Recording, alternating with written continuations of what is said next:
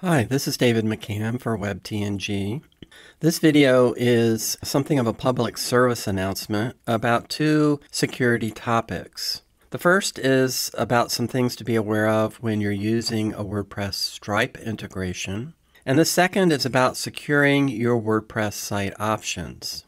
I think these are important topics that everyone should know about. And if you're using Stripe for taking payments with WordPress, then they may also be related. First is the issue with Stripe API keys. And this involves how you set up and configure your Stripe account. Stripe is a popular payment processor that tries to make it easy for small businesses to accept and manage online payments. The process involves setting up a Stripe account and then generating Stripe API keys. These API keys are used by your WordPress site to communicate with Stripe and authorize account activity, like accepting payments. It turns out that there are two types of API keys that you can create. There are restricted keys and standard keys. With restricted keys, you can set what account permissions are allowed. But with standard keys, it may be that someone who has access to your standard key can create subaccounts and set up instant payments. There's not the same level of restriction. Now, of course, standard keys exist because in certain situations you need to use those features, but it's safer to use restricted keys if you can.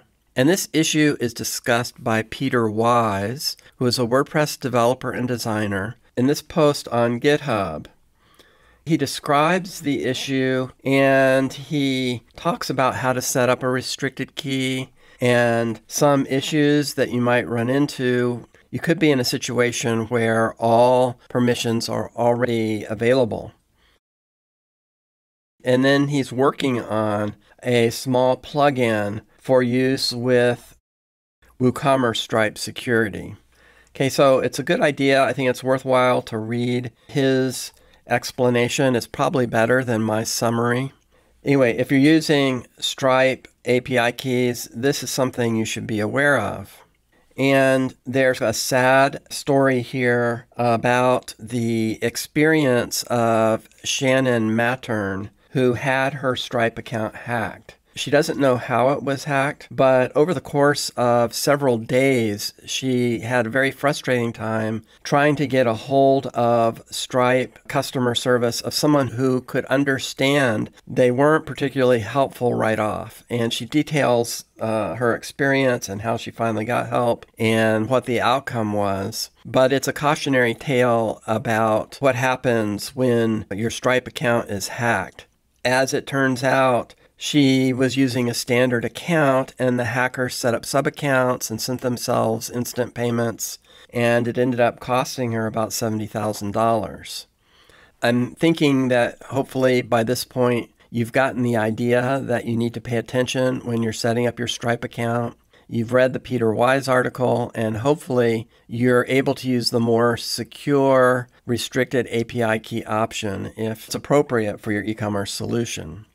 Now, the second topic is securing your WordPress options. You know, it's common that we have to enter a license key to activate a plugin or theme. And maybe there's an API key you need to enter for a service like Google Maps or maybe a connection with a payment processor like Stripe. These keys are often stored in the WordPress database in the WP options table. Our assumption is that they're stored in an encrypted manner to keep them safe, but it turns out that many times they're not. Sometimes they're stored in plain text, and a number of plugins that connect with Stripe do this also. So, this second topic is related to the first if you're using Stripe.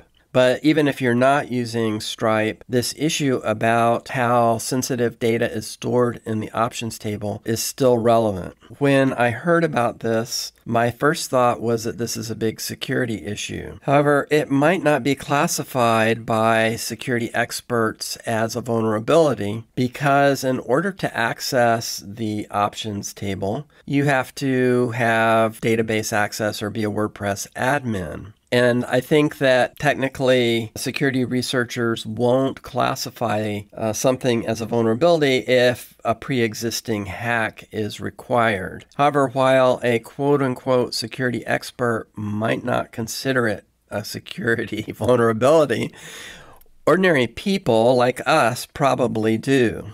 Now, there are different ways that hackers can get access to your website you know, we see the lists that come from iThemes or uh, WordFence or PatchStack of the vulnerabilities each week. And of course, some of those vulnerabilities are more serious than others. But occasionally it happens that there's one that will give a hacker admin access or access to the WordPress database. I just want to show you that, you know, if you have a tool like PHP My Admin installed. This is the WP options table. And you can go and look at these options that are saved. There's usually a name and a value, a key value pair. Okay, and many of these are innoxious and not sensitive data. But I want to point out that it's not just database access anyone with admin access can also see these values, all of them. Here we are on this testing site, and I've had to blur out in the video the all in one WordPress migration secret key and plugin key, okay, because they're not encrypted in the database. And even some things that you see where it says serialized data, that doesn't necessarily mean that it's encrypted. Oftentimes, being stored as serialized data just means that it's in an array. Right here, we have an example of some kind of sensitive data that is saved unencrypted. And so, what this means is that there are times when it doesn't even take necessarily a hacker to get access to your sensitive data that's stored in WP options. Maybe you have several admin users on the site. Maybe you hire a contractor to fix an issue or, you know, set up a new plugin or something, and you have to give them admin access for that. Or maybe you hire a WordPress site management service to come in and do your updates and backups. Okay, my point is that you don't always have to be hacked for this data to be available. And maybe the, as a business owner, you go in and you put in your Stripe API key, for example, and you think that it saved securely in the database, and you don't realize that somebody else coming along can get your key. That's a financial account. They can possibly steal your money. We often think that, you know, I trust this developer, you know, I trust this employee. I'm happy to give them access to my website to maintain it. But if you were asked, would you give this person access to your bank account? You'd say, of course not. Okay, so that's kind of the distinction I'm trying to make here that it is a security issue, even if technically some WordPress security professionals might not classify it as such. This hack and discussions about data being saved in the WordPress options table unencrypted, they've been floating around and being discussed in various Facebook groups for the past several weeks. And there's a developer named Calvin Alkin who has thought about this and is suggesting a plugin solution to help. Obviously, the best thing is for us to talk to our plugin developers and make it clear that we're not happy if they're storing data unencrypted in the database. And I really suggest that, you know, you check the WP options table and let them know if that's what's happening. But I did want to point out to you that this looks like it could be an interesting solution. My understanding of how it works is that you can choose which values that you want to encrypt, and it will save them on the WordPress file system encrypted, either in your WP config file or in a JSON file. And then, kind of automatically, when WordPress is running and those values are needed, the plugin will make them available in an unencrypted format for that purpose. But someone just going and querying or searching or looking at the WP options table wouldn't be able to get that data. So that's pretty interesting. He's talked about possibly offering a plugin to do this for free which he's calling Vaults and Pillars. So I'm sharing the link to his article and discussion about this.